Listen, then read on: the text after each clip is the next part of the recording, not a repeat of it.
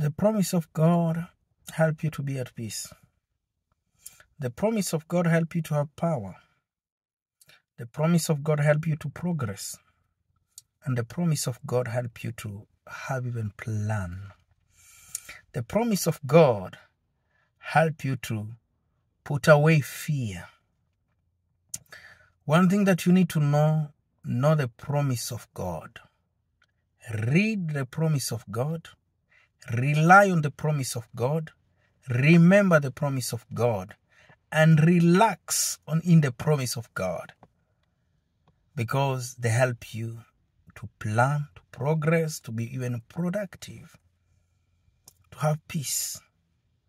And God wants you to know His promises. Because and God keep His promises. Whatever God said He will do, wait for it. He'll surely do it. You don't have to doubt when God is at work. You don't have to fear when God has promised to do it. Wait, you will see His wonders.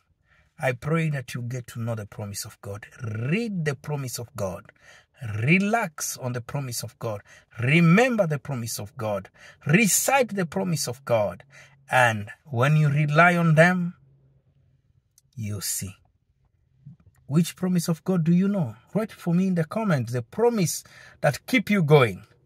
For me, there are many promises.